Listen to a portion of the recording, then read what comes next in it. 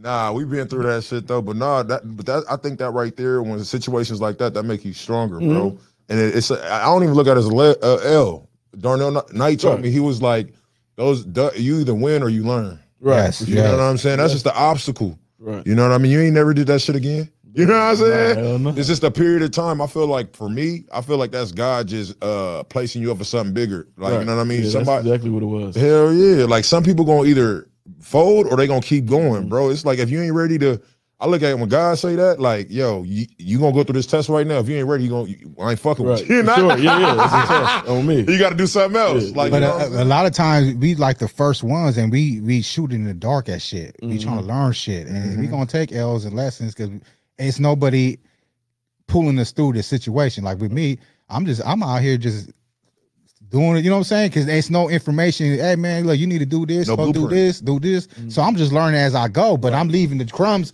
for everybody behind me because I'm. Hey man, you need to go get that trademark before you do this. You know what I'm saying? But I didn't have nobody to show me the game. For sure. You know what it was? It, it's like for me, bro. I didn't go to college. I wasn't the smartest nigga in high school, but at the end of the day, logic makes sense. Mm-hmm. You know what I mean? And that's what some things that we have is logic, and you have to fuck up in order to learn. Yeah. you know what I mean. So it's no blueprint to be successful. Right. You know what I mean? And, and we got kids, bro. Like you know, so for me, I looked at it like I don't want them to going through the same shit we going through. Sure. You know what I'm saying? If we could, like, because you got to understand, like, nigga, every other race got it ahead of us. Yeah, yeah, like, you know what I'm saying? yeah. Like, like the white people. Yeah. Like, no disrespect to y'all, but at the end of the day, it's like, nigga. Mm-hmm. When, when y'all was owning crop fields and slaves and shit, y'all niggas got the advantage. Y'all niggas 400, can fuck 400 years ahead, man. you feel 400 years ahead, my nigga. They be looking like why we. But but you say that too. But also, if we have 400 years ahead, I think us as a culture would still hide the fucking information for the next culture. Mm. You know what I'm saying? Because I, it. it's just it just seemed like we don't we don't help each other. Nah. You know what I'm saying? And it's crazy. It's like you could go a black owned business, you'd be like, oh, I'm not shopping there. I'm gonna go over there. Why?